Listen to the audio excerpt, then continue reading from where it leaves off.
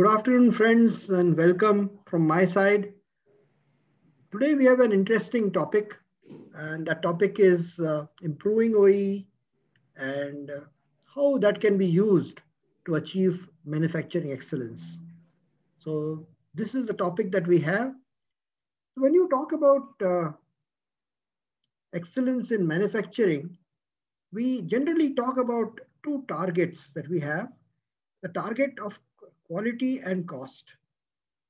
As far as quality is concerned, the target is to control the process by which we only produce good parts and thereby ensuring that not only the customer does not get rejects or non-conforming parts, but we also do not increase our cost in terms of the variation which produces rejects or rework.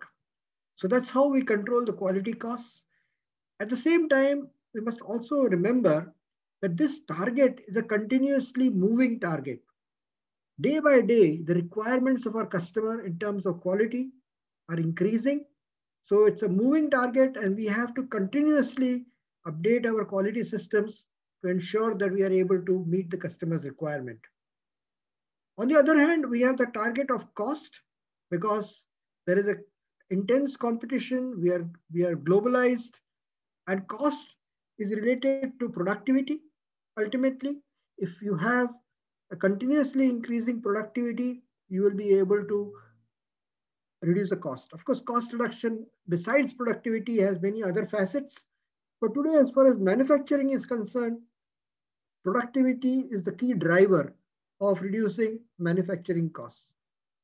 So remembering these two aspects, that quality and productivity go hand in hand, we have to move forward in both these areas continuously to keep achieving the targets that are also continuously moving.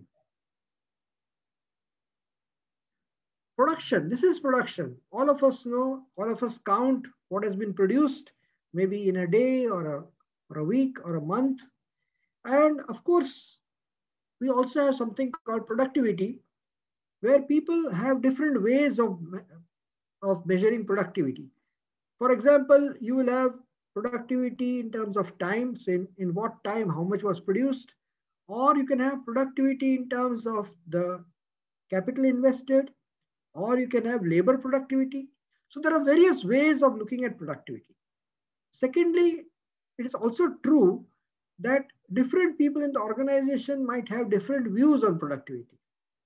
So I would like to ask you one question, first of all. And for that, I will launch the first poll that we talk about productivity. How many of you are already in the process of measuring overall equipment effectiveness or OEE? So when we say productivity measurement, we basically relate an output to an input. So productivity is a ratio of an output to an input.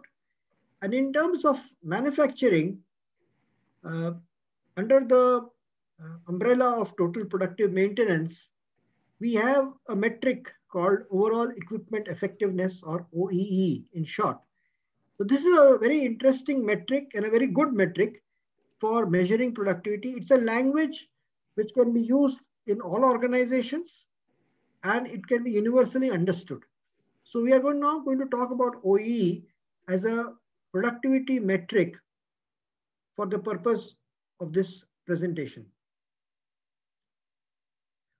Now, I want to ask you another question that if the cycle time of a part is six minutes in a shift of seven hours, how many parts do you get? So 13 of you say that you will get 70 parts. Yes, that's what the arithmetic says.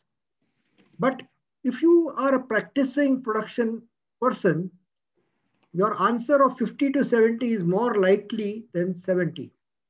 Now, why do you think 50 to 70 is a more likely answer than 70? For this, I would request you to write down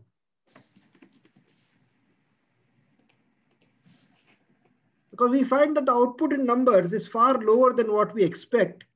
So if you have a pen and paper in front of you, Write down at least 10 reasons why you do not get the production as you expect. Just write it down. I'll give you a few minutes to do this.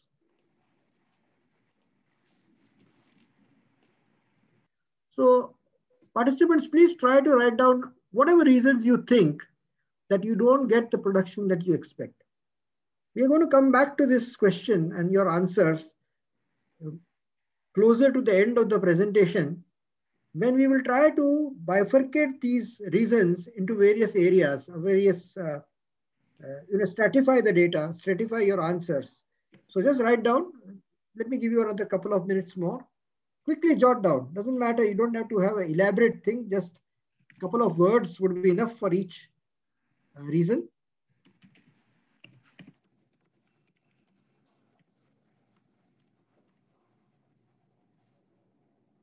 I machine, what happens? Method, what happens? Material, what happens? Don't give generic answers. Your answers should be very specific. The whole purpose of OEE is to try to drive specifics rather than have very generic answers because generic things don't have solutions.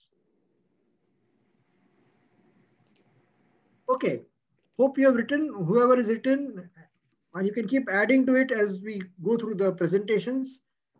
But keep them aside for the moment and we'll continue. So OEE or overall equipment effectiveness. Now we move on to the actual formula for OEE. OEE is multiplication of three factors. These three factors are known as AE, PE, and QE. Uh, AE stands for availability efficiency. And what this means is to what extent is the asset, could it be machine, equipment, available for production? For example, if it's a metal cutting thing, metal cutting uh, machine, then how much time does the machine actually is available to cut chips? Or if it's a molding machine, how much time the machine is actually able to do its operation of molding, etc. So Availability is to the extent that the asset is available for production. P is uh, performance efficiency. And by, by that, what we mean is to what extent is the asset performance compared to the rated performance. Now, this uh, word rated is very important in this, and we will uh, you know, have an explanation for this in the coming slides. But we are talking about its optimum performance or optimized performance. Something of that nature is what is the meaning of rated performance. So it's available first, then it performs to its optimum level. And finally, we have QE, which is quality efficiency, which is to what extent is the quality produced as compared to the rated quality. Again, the word rated is important. We'll again discuss what this means as we go along. So to summarize this, OEE is a multiplication of three factors, availability, performance, and quality.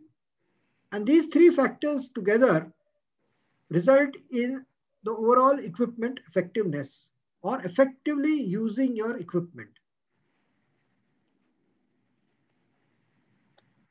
So now let's talk about what is the rated cycle time of a part. So rated cycle time of a part is arrived during component trial. This is a statement that I am making so when you are actually trying out a component, be it on a molding machine or injection molding machine or, or, or any other foundry equipment, how much time is the cycle time of making that part? On a CNC machine, of course, it would mean the cycle time as, as run by a program. So moving forward, let us now look at availability, performance, and quality a little bit more in detail. So AE or availability efficiency is the available time divided by the loading time. Now, in that example that we saw just now, the loading time was 20 hours, right? That is the hours available to the management for using the resource. And the available time would be the loading time minus the downtime that is incurred. So available time is the loading time minus downtime. So A is loading time minus downtime upon loading time. So this is the, the formula for calculating AE. So all downtimes which are greater than 10 minutes are treated as part of availability. So anytime the machine is not available for production for more than 10 minutes is accounted for in availability as a downtime. We can break this up further saying that, okay, we will now look at what is the actual cycle time and what is the rated cycle time. We can compare it. So that factor is rated cycle time divided by actual cycle time, and that is known as the speed loss. That means to what extent are we losing out because our actual cycle time is more than the rated cycle time. The reasons could be many. It could be due to the wear and tear of the equipment.